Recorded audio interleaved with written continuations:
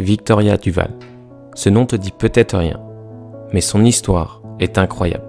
Je ne te parle pas de son histoire tennistique, je vais te parler de son histoire de vie. Je vais te raconter sa vie, comment elle a réussi à atteindre son meilleur niveau, c'est-à-dire 87e mondial, avec une histoire de vie incroyable.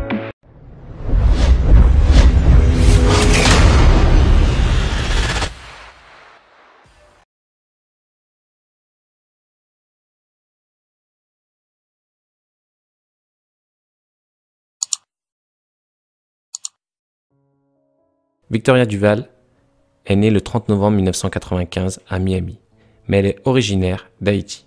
Elle vit à Haïti avec ses parents jusqu'à l'âge de ses 7 ans. Mais à ses 7 ans, un événement bouleversant va venir changer sa vie. À ses 7 ans, elle est séquestrée et enlevée par des ravisseurs qui demandent une rançon en contrepartie de sa libération. À l'âge de ses 8 ans, ses parents décident de déménager à Miami.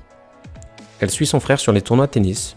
Elle n'était pas spécialement intéressée par le tennis plus que ça, mais elle décide un jour de s'inscrire à un tournoi. Et elle remporte ce tournoi. Et rapidement, elle voit qu'elle est plutôt douée pour le tennis. Et elle décide de faire le tennis sa vocation. Mais en 2010, un énorme tremblement de terre va frapper Haïti et fait près de 100 000 morts.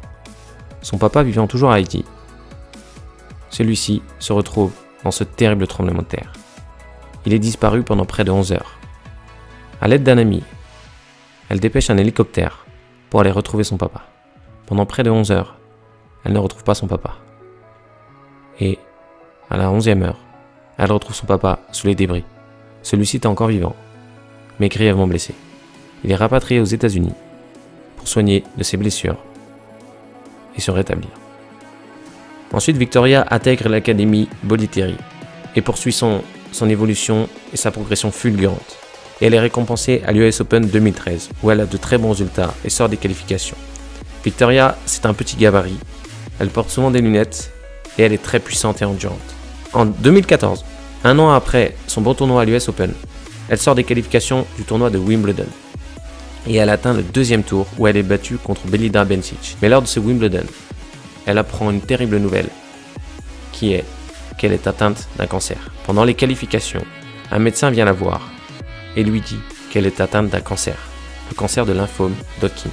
Les médecins lui disent que ce cancer est irréversible, qu'elle ne pourra plus jamais jouer au tennis, que peut-être ses jours sont en danger. Après le meilleur tournoi de sa carrière en Grand Chelem, après son apogée, jamais été meilleur que ça, 87e mondial en simple, c'est son meilleur classement, son meilleur tournoi, on lui dit qu'il faut arrêter de jouer au tennis. Parce qu'elle est atteinte d'un cancer qui va mettre ses jours en danger. Elle décide d'arrêter le tennis, de se consacrer à 200% à sa vie et à son cancer, de battre cette fichue maladie. Pendant un an, elle se bat jour et nuit à vaincre cette maladie, par des soins, par des moments très difficiles. Mais un an plus tard, après avoir vaincu sa maladie, elle est invitée à prendre part à l'US Open et à jouer à l'US Open. Aujourd'hui, actuellement en 2020, elle est 470e mondiale. Elle joue encore et elle a 24 ans. Ce que je voudrais que tu retiennes de cette histoire, c'est qu'il y a eu plein d'événements marquants au cours de sa vie. Elle a eu une enfance difficile. À l'âge de ses 7 ans, elle a vécu un traumatisme incroyable. À ses 10 ans, elle a cru perdre son papa pendant près d'une demi-journée. Mais il était là. Un deuxième événement marquant. Ensuite, en 2014, elle apprend une terrible nouvelle sur elle-même qui va peut-être mettre fin à ses jours. Mais elle continue de se battre.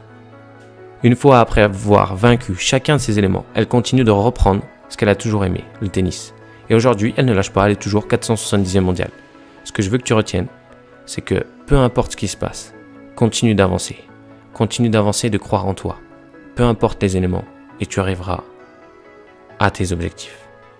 À très vite. Ciao, ciao.